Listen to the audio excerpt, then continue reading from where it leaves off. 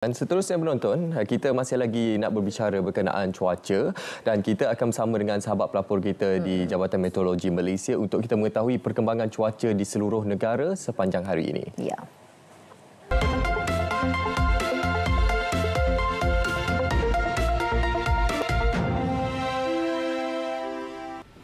Assalamualaikum dan salam sejahtera. Kembali lagi bersama Jabatan Meteorologi Malaysia untuk laporan cuaca terkini.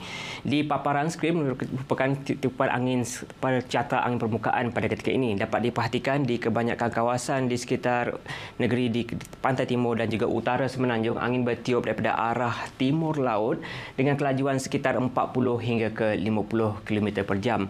Keadaan ini masih lagi berpotensi menyebabkan keadaan cuaca lembap terutamanya di sekitar negeri-negeri di pantai timur semenanjung. Tanjung. Selain itu juga angin bertiup daripada arah baratan dengan kelajuan sekitar 20 hingga ke 30 km per jam di selatan Semenanjung, di Sarawak dan juga di kebanyakan kawasan di bahagian barat Sabah. Keadaan ini juga berpotensi menyebabkan keadaan cuaca lembap terutamanya di kawasan di bahagian tengah dan juga utara Sarawak pada ketika ini. Dan seterusnya kita beralih pada amaran yang sedang berkuat kuasa. Amaran hujan berterusan kategori bahaya masih lagi dikekalkan di sekitar negeri Terengganu dan juga sebahagian How. Besar kawasan di sekitar negeri Kelantan diikuti amaran hujan berterusan kategori buruk bagi kawasan yang ditandakan jingga di negeri Pahang, Kelantan dan juga Hulu Perak dan seterusnya amaran hujan berterusan kategori waspada bagi kawasan yang lain yang ditandakan dengan warna kuning.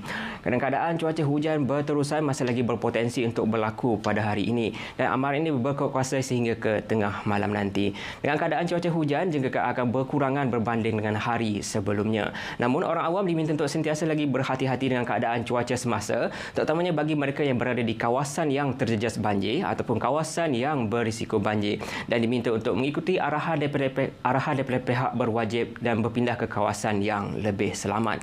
Seterusnya kita beralih kepada tinjauan keadaan cuaca semasa.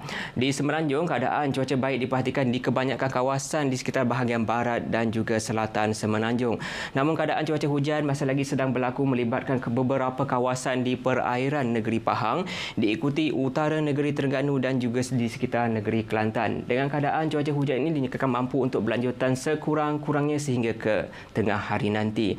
Dan seterusnya pada sebelah petang, keadaan cuaca hujan juga akan berlaku di kebanyakan negeri di sekitar Semenanjung, terutamanya di sekitar utara, di pantai timur dan juga selatan dan juga di kawasan pedalaman negeri-negeri di pantai barat Semenanjung.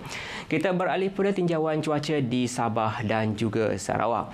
Dengan tiupan angin daripada arah baratan pada ketika ini mempengaruhi keadaan cuaca hujan di sekitar bahagian tengah dan juga utara Sarawak dan juga dia kemudian akan memasuki kawasan di wilayah Persekutuan Labuan dan juga bahagian barat dan juga utara Sabah. Keadaan cuaca hujan ini kami jangkakan boleh berlanjutan sehingga ke tengah hari nanti. Dan seterusnya pada sebelah petang, keadaan cuaca hujan masih lagi berpotensi untuk berlaku terutamanya di kawasan pedalaman dan utara Sarawak manakala di Sabah akan lebih tertumpu di bahagian pedalaman, pantai barat, kudat dan juga di bahagian Sandakan. Selain itu juga amaran angin kencang dan keadaan laut bergelora masih lagi dikekalkan di bagi kawasan yang ditandakan kategori ketiga bagi kawasan ditandakan warna merah. Kategori kedua bagi kawasan ditandakan jingga dan juga di kawasan yang pertama ditandakan dengan warna kuning. Keadaan ini menyebabkan keadaan ketinggian ombak boleh mencapai 4.5 meter dan juga kelajuan angin boleh mencapai di antara 50 hingga ke 60 km per jam. Keadaan ini adalah amat berbahaya kepada aktiviti perpakalan, bot-bot kecil, perkhidmatan feri, aktiviti sukan dan juga rekreasi laut. Amaran ini juga berkuat kuasa sehingga ke tengah malam ini.